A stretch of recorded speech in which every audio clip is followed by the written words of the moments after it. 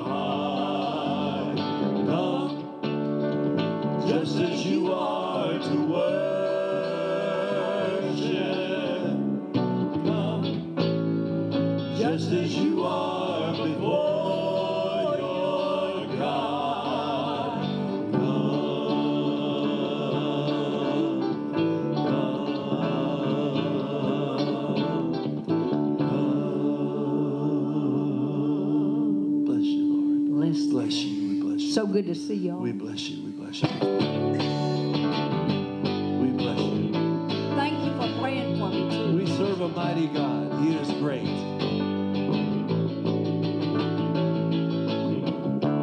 All creation cries to you.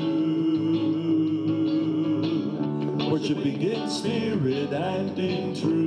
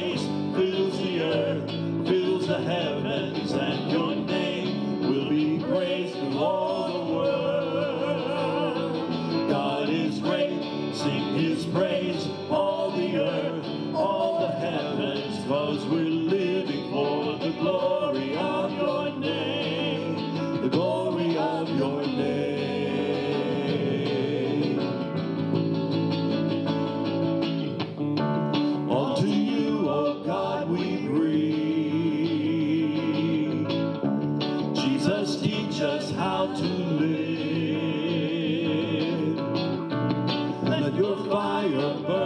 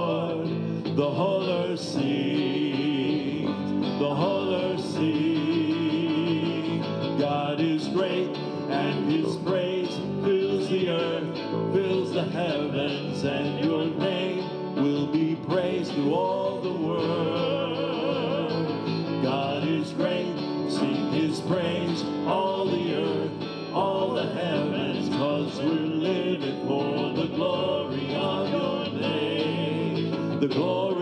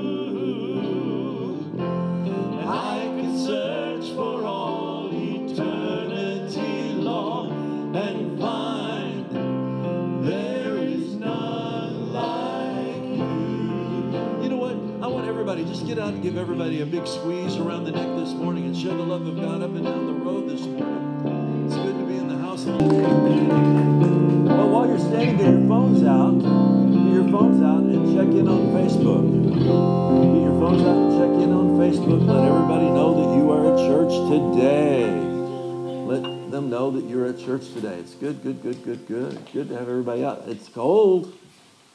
Got chilly, chilly, chilly, but I'm glad you're here this morning. Good, good, good. Excellent, excellent. Glad to have Pastor Kathy back with us for such a long time. Such a long time. Yes, yes, yes. I'm glad she's back too. Dougie's here. That's always good. Uh, Bryce is out today. He's with his family. They're doing a little family trip. Drummer will be back next week. That's always good. Glad to have everybody. Keith here today. Well, that's a, that's a good thing. Good, good, good, good, good. Well, I'm happy. I'm happy. I'm a happy, happy camper. Uh, let's take a look up here on screen. I'm going to use this scripture again a little bit later, but let's take a look at this one. It says, "And my God will meet what?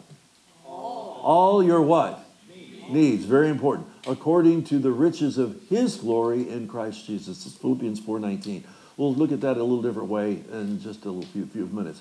And then another scripture over here that Paul wrote says, "For you know the grace of our Lord Jesus Christ, that though He was rich, Yet he became poor, yet for your sake he became poor, so that you might, through his poverty, might become rich. And that's a promise. You know what? He gave up everything so that we could have everything, so that we could have it all. So let's take a moment this morning and let's pray and let's thank the Lord, you know what, that he provides and that he gives us all that we need. And we'll talk about that a little bit more this morning. So, Heavenly Father, right now, in Jesus' name, we are so thankful to be here today. Father, that we have a place that you've provided for us, that you've been faithful to give us a place that we can come and worship together and to be here with you this morning. So, Heavenly Father, we thank you for that. And Father, we thank you that you meet all of our personal needs, not only for our church, but our personal needs as well. Because when we have, we can give. And so, Father, we thank you for that. Father, we ask you to watch over all those who are away this morning, that are out sick or traveling this morning, that you'll bring them back next Sunday safely. And Father, as we give now, we do it now in Jesus' name, in Jesus' name. And everyone said, Amen and amen. So if you're giving, we've got a giving app that you can give through. You can take a little picture of that up in the front, that little lower right-hand corner. If you take a picture of that, that'll give you a screen capture You can take that directly to the Givelify app where you can give, and most of you know how to do that because you're doing that all the time, and I really do appreciate that. Now, starting next Sunday, starting next Sunday, I have a new series that I'm going to be, I'm finishing up one today and I'm starting a new one next week. So next Sunday starts a new series. So the month of February, we're going to be talking about habits. How many of you have some habits that you wish you didn't have? Okay. How many of you wish you had some habits that you don't have? I have some habits for you that I wish you had. Some of you are going to get better at some of those habits as we kind of go through. Uh, right here, this is a very important quote. Successful people do consistently, successful people do consistently what others do what? Occasionally. And what we want to do is we want to develop good habits that we are consistent with. Consistent with. So, uh, what is a habit? What is a habit? So, let's talk about it just for a moment. What is a habit? A habit is formed when you consistently meet an important need with a what? Chosen behavior. Okay? Well, what, what's a need? How many of have ever been uh, sad before? Ever been sad before? Did you eat because you were sad? That is a bad habit. A bad habit. But you chose that to meet a need. You went to that. Your body went to that. And unfortunately, a lot of people go to that over and over again. How many of you have been angry? And you chose to display that anger instead of choosing another form of let go, letting it go. So a habit is something that we have a need and we've chosen a particular behavior to support that. And unfortunately, those behaviors that we've chosen over and over again are going to be a challenge to let go of. But you know what? We can. We can. We can. We're going to talk about that next week. So, uh, what are good habits to make? We're going to talk about some of the good things that we want to be making habits out of. Uh, what does the Bible say about habits? It's got a lot to say. Matter of fact, we're going to take a look at a particular verse here in just a moment to kind of support all this where we're going. I'm going to talk to you about the 10 keystone habits that every one of you should have. Every one of you should have these 10 keystone habits that will help support you internally, spiritually, mentally, and physically. We'll talk about those as we go through. And how to then keep a new habit that you're wanting to develop wanting to develop. So uh, this is what Paul says Let us not be weary in well doing, for in the proper time we will reap a harvest if we don't give up. So creating a habit is something that you have to monitor, you have to maintain, and you have to be consistent with. And when you are, God will provide that new habit, and it's a good thing. How many of you like some things to change in your life? We'll talk about that starting next week. But habits will be the, the new series that I pick up with uh, starting the, the first Sunday in February. But for the last three weeks, uh, we've been talking about when pigs fly. We've talked about miracles and what people have thought about miracles and how when uh, I talk about miracles and I talk about things that happen for me, I know that I can almost hear it coming out of their heads. Yeah, when pigs fly. I can almost I can see it in the expression in their face, in their body language. I can see that kind of, yeah, right, kind of understanding. But I know that God does have miracles for us. We talked about the first Sunday, we talked about miracles of deliverance and how we shouldn't always uh, think that there's a devil on every doorknob, but we shouldn't think that the devil is not active, engaged in our life, trying to keep us uh, under the gun. We talked about miracles of healing. And we've talked about last week miracles of protection. And today I want to conclude this series with miracles of provision. How many of you have enough? You have enough. Well, don't see too many hands because we all would like to have that four letter word more. We all would. But we're going to take a look at what God talks about provision today. So, uh, money may seem tight to you. I know that I constantly hear the word recession, but I have yet to see it. I've yet to see it. Uh, if you've driven downtown here very much recently, and, and I have a lot more recently in the last few weeks, I've seen more cranes up than I've ever seen, I think, at any one point in time in, down, in the downtown area. And that's a sign of not recession, that's a sign of growth because money is out there. Now, I know that a lot of banks will tell you, tell builders that if you don't use it, this money that's been allocated, you will lose it at the interest rate. So oh, that's a lot of stimulation, but people are still taking that money and they're still building with it. They're still going forward with it. So money may seem tight, but uh, whether you're single, married, or partnered, I think money is tight. And whether you have a six figure uh, income or not, I think there are a lot of people that feel that there is more month than money left over.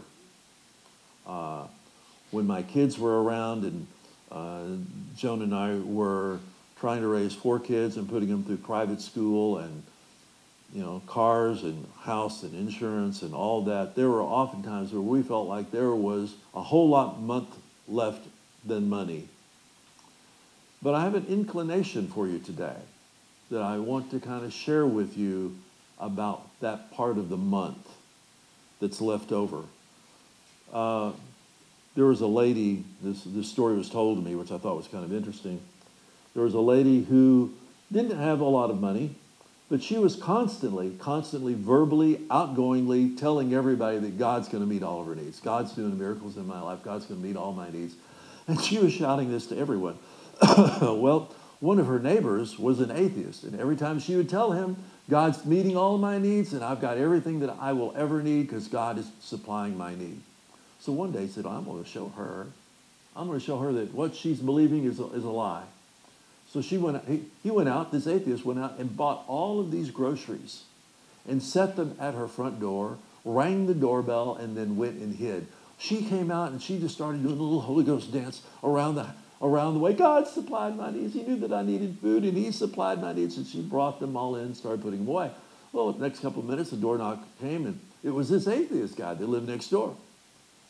And she says, You know what? God had supplied all my needs. I've been praying that God would take care of my grocery bill, and He has done it. He has done it. He said, and he just started laughing. He says, No, He didn't. And she said, Yes, He did. He said, No, He didn't. He didn't, he didn't, he didn't, because I did that. I went out and bought all of those groceries, and I did that. God didn't do that. She started dancing again. She said, God, you supplied my needs, and you made the devil pay for them.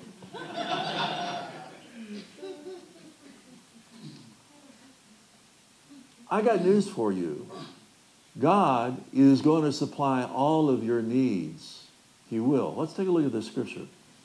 First off, there are countless biblical examples of those who thought in the Bible that they did not have enough, that they thought that their month was just continuing. It's like the first and they've run out and they still got, you know, 29, 30 days left. But I'll tell you something.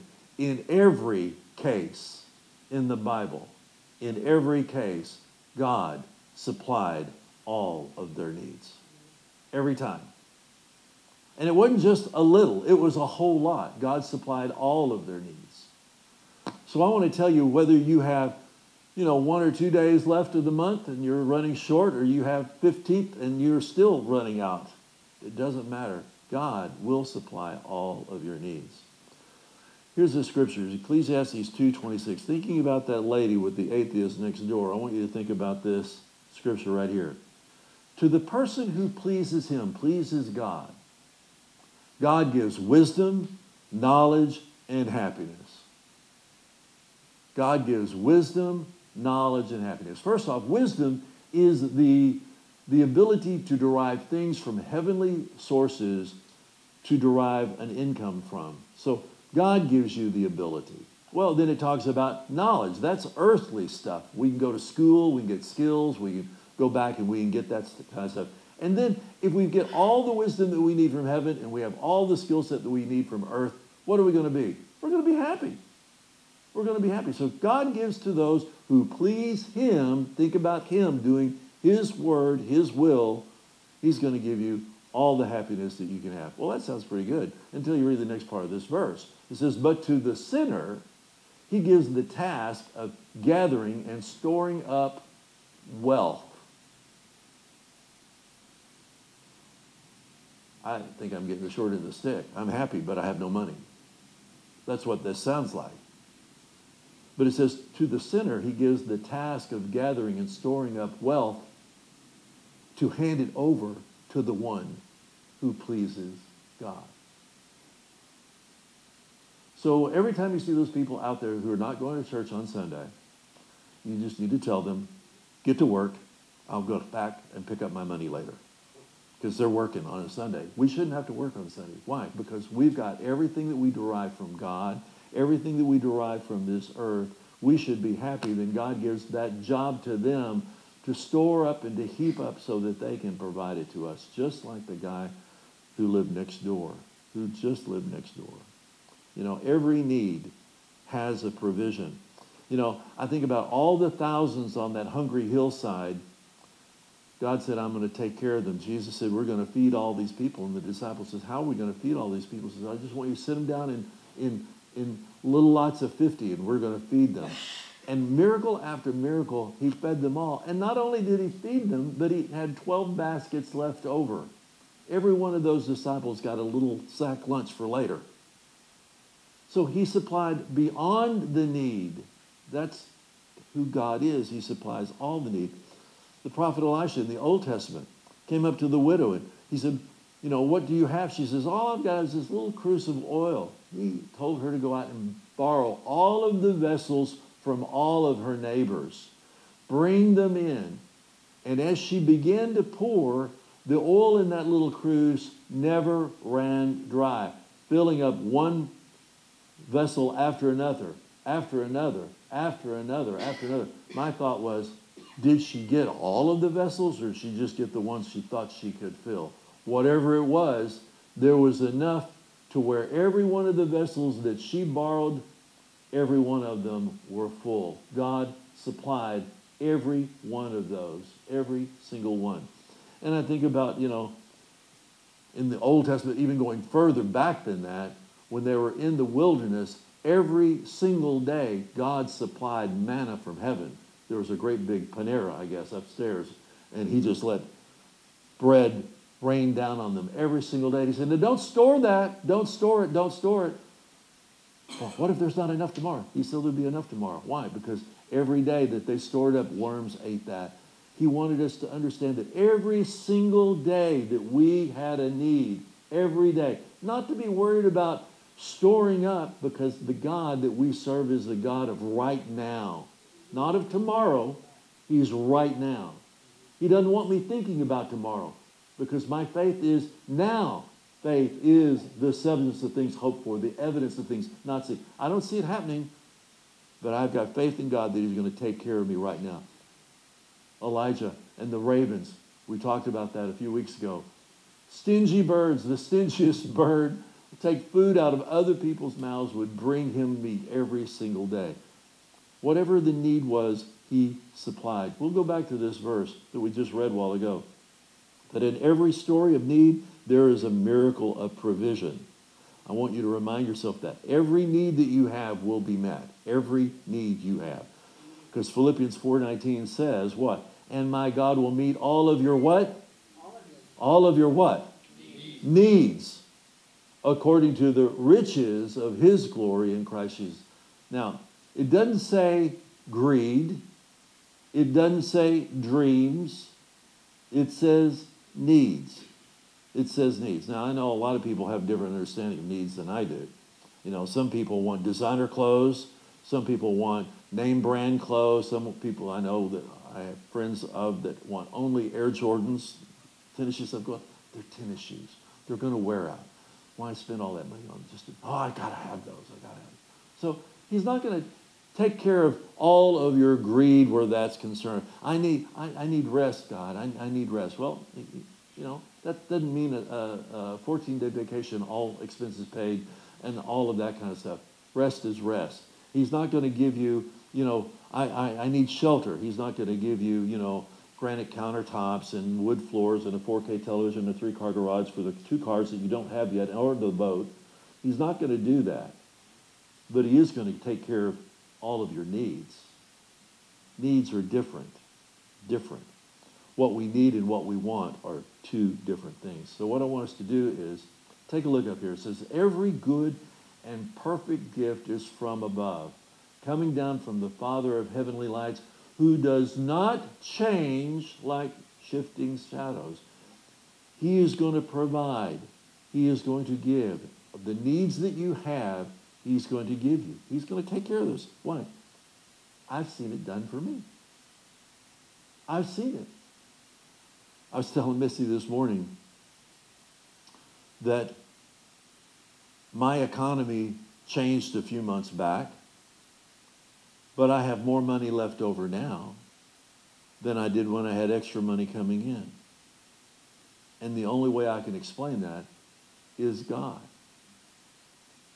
My CPA is going to be astounded because he's going to wonder, how did you do all this? I said, I don't know. All I know is that God has taken care of it. God has supplied that need. God has made that happen. So I've got three provisions here that we're going to take a look at. Here in Philippians 4, it says, He's not going to give you all of your wants. He's going to give you all of your needs. So the first, there are three provisions that I want you to kind of think about. You may want to take screen caps of these. The first one is really important. When God guides you, He's always going to provide for you. Where God tells you to go, what God tells you to do, He will always supply that need every time, every single time. And the scripture that we have that goes by that is found over here in Isaiah. It said, The Lord will guide you always. He will satisfy your needs even in a sun scorched land. While the rest of the world is suffering, you're going to have your needs met. So that's kind of what I'm telling you. You know, I would not be concerned about a recession. I would not be concerned while other people, and I mean, how many people in high tech jobs have been laid off in the last three or four weeks? What is it, 60, 70,000 people? You know, you, you, you could think it's awful. You know, Google, uh, Amazon, all these high tech companies have laid off tens of thousands of people at a time. Bing, bing, bing, bing, bing. and I sit there and go, you know, I'm only worried about those people who don't know God because they won't have a shot. But those people whose God is not their job, but their God in heaven above, will have all of their needs met. All of their needs met. God doesn't want to fulfill all your dreams. That's not his job. It's not his thing. But he will provide for his will, his plan, and his plan for you in your life. You know, I know a lot of times I've heard people, well, God's just not coming through for me. God's just not taking care of me. God's not doing what he said he would do. Well, you know, you, you bought a house that's too big. You bought a car that cost too much. You went on a big vacation and you're still paying off your, you know, uh, 2019 Christmas card debt. Well, yeah, that's hard to think that, you know, God's not supplying all your needs. Those aren't the needs that he signed up for. So recognize this. Recognize this. I want that. I just want you to think about it. This is not condemnation. This is not judgment. I just want you to think about it.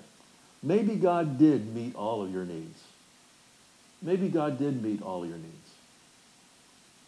But you spent it on your wants. Maybe you took what God gave you to do the things that are the things that he promised he would cover. Maybe you took some of that and spent it elsewhere. And now you think, because of that, he's not doing his job. He's not doing his job. Well, he didn't say he was going to do this. He said he was going to supply this. So recognize it that, you know what? Sometimes we get involved and mess up God's plan. We do. I know it's not like, you know, you know, God is not get out of debt free card. That's not what he is. He's not that. He's not going to supply all your wants. He's not going to make up for all of our stupid decisions that we made, our mistakes. I want, I want, I want. We have to back it up and say, did God supply my needs? And the answer is always going to be yes. Always going to be yes. There's a story in the Old Testament It's probably one of my favorite stories because it's about a guy who who believed God for a long time. God promised Abram that he would be the father of many nations. Even when he was old, he was old. And his wife, he looked at, he looked at Sarah and said, you got to be kidding God. Have you seen Sarah lately? She is like really old, much past child rearing. And God says, no, no, no, no, no. Don't look at what you see. Hear what I say, accept it, and you will be the father of many nations. Well, after many years, you know, they have the son of the promise. Now, did they mess up in meanwhile, thinking that, you know, I'm going to help God out and we're going to go and have, you know, Hagar come and have a child? And yeah, we messed up there. But finally, they got in line with God and God gives them the son Isaac. He does. And this beautiful little boy is growing up in this home. Mother and father just dote over him. They're older. They just love this son. They love this child. He is the child of the promise that they've always wanted. And then one day, when they're out, God says to Abraham, I want you to sacrifice this child to me. I want you to take him up on this mountain, and I want you to worship me by giving him to me. Now, I'll tell you something. Little Isaac has been with his dad many, many times up that hill. Knows what's going to happen. His dad has got the wood strapped on little Isaac's back, and they're going to make their way up the hill. Now, Isaac has seen this before. And Isaac has always known that they've always taken something with them to sacrifice a little lamb, a little something. And he asks his daddy, he says, You know, I see the wood, I see the fire, I see the knife that you've got, but where is the sacrifice? And Abraham tells him, God himself will provide. God himself will provide that sacrifice. God himself will provide. You see, I don't think God asks us to sacrifice anything. Not like in the days of old. I don't think so. I think, you know, I think sometimes that we want something. We want something really, really bad. I remember when I was a kid, I'd signed up. I was stupid. I'd signed up. I didn't really want to go to my senior year in high school, so I thought, well, I'm going to take summer school every summer, which I did and I ended up blowing a whole year for a half a credit, which was back then was the uh, government class, which is only a half a year, and I took a whole year of school because of a half a credit because I'd taken summer school every summer. Well, because I signed up for summer school one summer, and I was taking chemistry because I didn't want to do the labs, so I'd them in summer school. My church was taking a youth trip that I didn't know about until after I'd signed up. I wanted to go on this trip, but I'd signed up for the summer school class. They were going to go, and it was going to be fun. They were going to go camping, da da da da da da da, in big chartered buses, and it was a big deal. And I'd signed up for this class. And I said, I said, God, I really want to go. I will do any, any, any, any, anything to get out. I'll, I'll, I will go talk to the class teacher, and I'll tell them I'm gonna, I've got to go on this church trip. And God kept telling me, you are going to school because you said you're going to school. And I still remember that like it was yesterday. I still remember the pain of watching everybody else leave after church on Sunday to go out on this trip, waving goodbye, and me knowing that the next day I was going to be in a summer school class in Wichita Falls with no air-conditioned schools and it was going to be hot and sweat blowing around with these big old round fans everywhere. I really wanted to go. I was willing to sacrifice my grade in chemistry to get to go to that trip. I don't think we have to sacrifice anything today. Not like Abraham did. Because God told him he was going to be the father of many nations. And in his mind, can you imagine going up the side of that mountain, how, God, are you going to make me the father of many nations if I have to give up the life of my own son, who is the only heir to my fortune, who I can pass down for generations to. How is this going to happen? He never asked God that. He said, God Himself will provide a lamb. Do you know if God is who He says He is and will provide all your needs?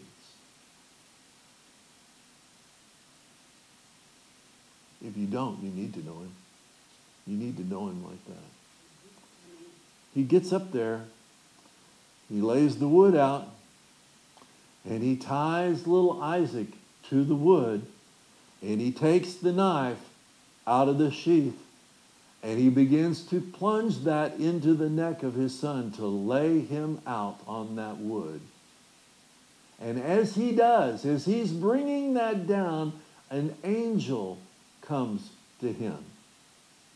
An angel comes to him and says, Do not lay a hand on him, for now I know that you fear God. Now I know. Now I know. God doesn't ask us to do it. He wants to see if we will. He wants to see, do we have enough faith in him that we will do what he asks us to do? You know, I don't think for a moment God ever had a plan that he was going to take little Isaac's life. I don't, because he had worked so long to get bring that miracle to pass. But he needed to know if Abraham trusted him enough to do what he asked. And my question to you today is, do you trust God enough to believe that he's going to meet all of your needs? Do you really trust him? Do you really trust him? I like this next verse. Abraham looked up after the angel said, "Don't put a, don't harm a hair on his head." Abraham looked up, and there in the thicket he saw a ram caught by its horns. And he went over and took the ram and sacrificed as a burnt offering instead of his son. So Abraham called the place in Hebrew Jehovah Jireh, which means the Lord will provide. It actually means the Lord sees ahead and provides. That means that when you leave here today, God sees ahead and provides and directs us. If we're willing to be open, he will direct our paths. You know, but Abraham was fixed on God. Abraham had his mind fixed on God, and God circumvented his own statement. I want you to sacrifice him. God turned that around.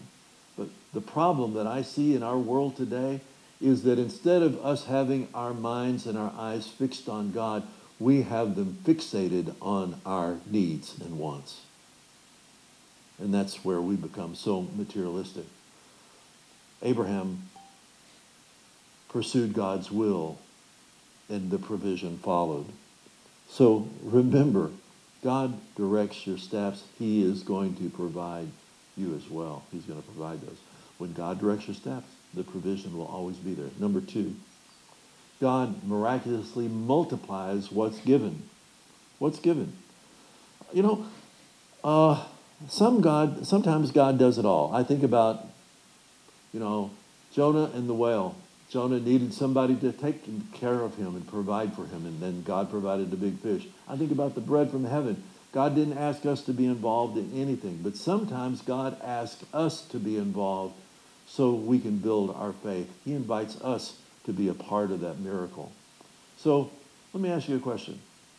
When did God multiply the widow's oil? When did it start to happen? When was the multiplication taking place? When what? When she poured because there was no faith involved in just standing with this little oil. She had to believe when she did that. As she poured, when did Abraham become the father of many nations? As he was beginning to believe in God, faith enough that he would save his son. Interesting sideline about the story of Abraham two stories, one out of the Old Testament, one out of the New Testament. In the Old Testament, Abraham lifted up his eyes and saw the place afar off. In John, Jesus on the cross says, And Abraham saw this day and rejoiced. I believe that God showed Abraham resurrection. So that even if he had to, the faith that he was going to use to take, to take his own son's life, he knew that there would be resurrection for his son. Because Jesus said, he saw this day, my day, on the cross, afar off, and he rejoiced. What kind of faith do we have to have? We have to have faith that sees beyond right now. We have to understand that God is the God of yesterday, today, and tomorrow. When did God multiply the loaves and the fishes? When the little boy gave them. All I got's two little fish, five little loaves of bread. Nothing happened till he gave them. The multiplication was not there till he gave. This isn't a spiritual lotto, giving $100 and expecting a million out of it. It's not that. God will take what we give him and multiply that seed to us. Take a look over here in 2 Corinthians. this generous God who supplies abundant seed to the farmer, which becomes bread for our meals, is even more extravagant towards you. Why? First, he supplies every need, supplies all of our need, plus more. Then he multiplies the seed what? as you sow it, as you give. It's not just about the fact that he meets all my needs. He's going to meet all my needs as I believe him to do with what he's provided for me. He's already given me that seed. So, what are we talking about? We're talking about what the tithe is. The tithe is returning to God 10% of what he trusts or he gives to me. People say, I, have heard it my whole time pastoring. I can't afford to give. I can promise you, Pastor Kathy and I cannot afford not to give. Because I can believe God to do more with my 90% as long as I've given him his 10% than I can ever do with 100% or even 110%. Can't. Tithe is his. The Bible is really strict about it. It says, you know what? It already belongs to him. And that's why when we read this scripture, let's read it over here, Malachi chapter, chapter 3, verse 10. Before it says, Will a man rob God? And he says, Wherein have you robbed me? He says, Because you robbed me because you didn't bring in the tithe. So he turns around and he says, Bring the whole tithe into the storehouse that there may be food in my house. Test me in this. What? The tithe, says the Lord Almighty, and see if I will not throw open the, the floodgates of heaven and pour out so much blessing you will not have room enough to receive it. Why? Because when you give it, God can multiply what you've given. He can't multiply what you hold on to. He can only multiply what you give. That's why it says there will not be room enough to receive it. Not be room enough to receive it if we're faithful to do what he's asked us to do. So we talked about the first principle. When God guides, he'll always provide. Number two, when miracles God miraculously multiplies what's given. And number three, you might be a part of God's miracle provision. I'll tell you something. Few, oh, it's been it's been several months back during the pandemic. It's back during the pandemic. Uh, she may be watching today. We'll I'll find out. A lady started watching our YouTube who lives in Rockwall. She and her partner live in Rockwall and they have a business together, which means that they work seven days a week. But she would take time during the week and she would watch what I would post up on Facebook. Alex, you'd be glad to hear this. And she has been a consistent giver since that time. And she said, much like somebody else said, there's, there's not a LGBT church in Rockwall. She said, and we can't afford to come right now because our business is growing. She says we're trying to hire people so that they can come on Sundays. But she said it's because your church was there. Your church was there. Even though we weren't meeting, even though we weren't meeting, she said, Your church supplied the teaching for me where my, my spouse and I now can see church on Sundays, whether we go to church on Sunday or not. So, church online, you made that happen. You made that happen. Uh, this year, we've helped more people with partial car payments, rent payments, utility payments. People were just short, and we've helped them. That's all because you became a part of that miracle. You became a part of that. Had somebody call, this has been three weeks ago, well, two cases. One person was just getting ready to take their life because they didn't think that anybody cared. They'd called some churches and no one had returned their call. I happened to have seen it, picked up the phone, called them back, and they said, Is this an answering service? I said, No. I said, This is Pastor Bob.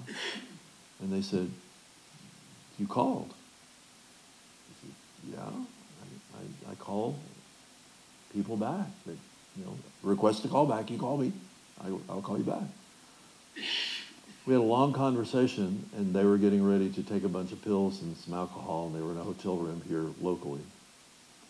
And I said, you know what? Is, is, is, is God going to get anything out of you doing that? Is, I said, other than being just another name of somebody else in our community that's taken their life, or is, how is that going to benefit God? I said, you living is going to benefit God. You telling somebody that God loves you enough that had a, someone take a phone call and call you back.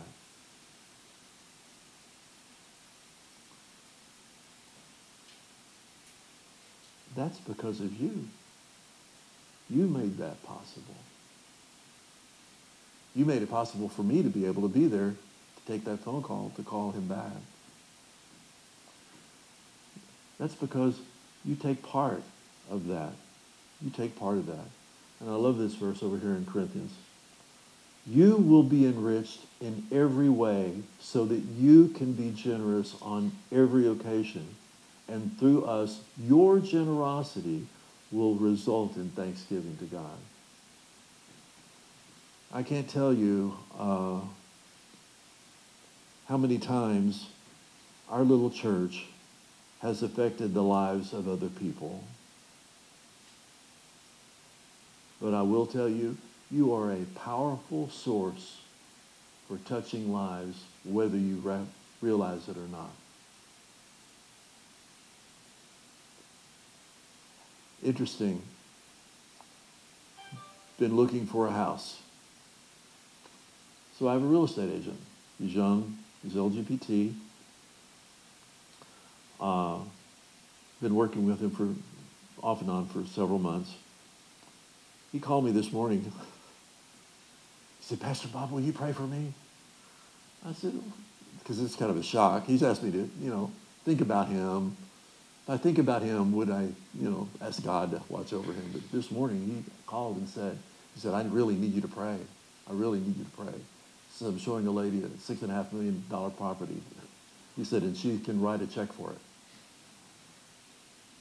Would you pray for me? And I, I said, the thing I've always prayed for you is I prayed for you great favor. That favor will open a door, even though you're young. There are other people who've been more influential in, the, in real estate than you. I said, just slow down, recognize that the sale is already yours, and just do your job. We are all here because God put us here. We all have a reason for God to be here with us every single day. You touch lives of people whether you recognize it or not. You are an influence because God is watching over you. You have more influence than you can possibly imagine. You will hear things in these messages that you may forget today, but somewhere down the line, God will cause that to come back to you, to speak as a word, the Bible says, fitly spoken at a moment in time. We have that. God provides us. God will meet every need. Fear asks this question what if I run out? Faith asks, what do I have to give? Fear says, I don't have enough. Faith says, my God is more than enough. Fear says, I can't afford to tithe. Faith says 90% with God's blessing goes further than 100% with me. God says he will meet all of our needs. All of our needs. So, when you think that you don't have enough to give, remind yourself, I have more than enough plus. I just got to make sure that I'm taking care of all my needs, being a faithful steward with that, because when I give, then God will supply more. God will supply more, and he takes us further and further and further. Heavenly Father, this morning we are so grateful because we are growing in faith. We're maturing. We're taking on responsibility. We're doing the things that you've asked us to do. And Father, you put us in a place of ministry every day, every moment in the lives of people. You interject us at the times when we can be most meaningful to them. Father God, you are a God of provision. You supply all the needs. You supply the thought when we need it. You supply the funds when you need it. And Father, we just serve a miracle working God. While the rest of the world, they say when pigs fly, you make them fly every day. Father God, we love you this morning, and we thank you for meeting all of our needs according to your riches and glory. By your riches and glory, by Christ Jesus. And Father God, we just thank you. We love you today. Our God is great, great and mighty. And Father God, we give you all the praise and all the glory for it now in Jesus' name. In Jesus' name. And everyone said, Amen and amen and amen. God bless.